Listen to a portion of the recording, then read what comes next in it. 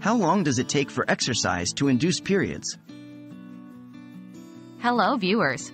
Today, we'll delve into a highly interesting topic the relationship between exercise and the menstrual cycle. We will answer the common question How long does it take for exercise to induce periods? Can exercise influence the menstrual cycle? Before diving into how long it takes for exercise to influence your cycle, it's important to understand that there's a strong correlation between physical activity and menstrual cycles. Regular exercise can have a positive impact on your menstrual cycle, relieving symptoms like cramps and mood swings. However, excessive exercise or a sudden change in your workout intensity can also affect your cycle, potentially leading to irregularities. How does exercise affect the menstrual cycle? When you exercise, your body experiences physical stress, leading to changes in hormone levels. These hormonal changes can affect the menstrual cycle. Moderate exercise can actually help to regulate your menstrual cycle by maintaining a healthy body weight and managing stress levels. However, excessive exercise or high intensity training can potentially disrupt your menstrual cycle.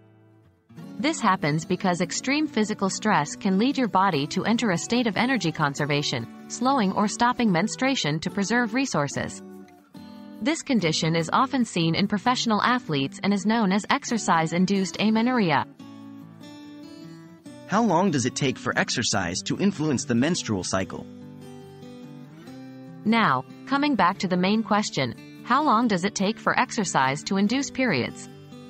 There's no standard answer to this because it varies from person to person, depending on their body's response to physical activity, overall health, and hormonal balance. If you've missed a period and start a moderate exercise regime, it may take a few weeks to a few months for your cycle to normalize. However, it's important to note that irregular periods can also be caused by a variety of other factors like stress, weight changes, or underlying medical conditions.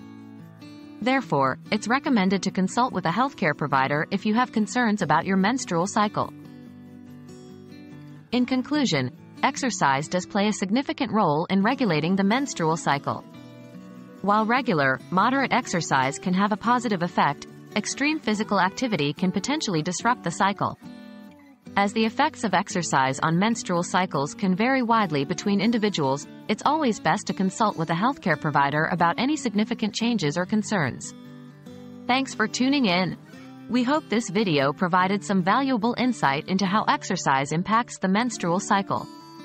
Keep moving and stay healthy.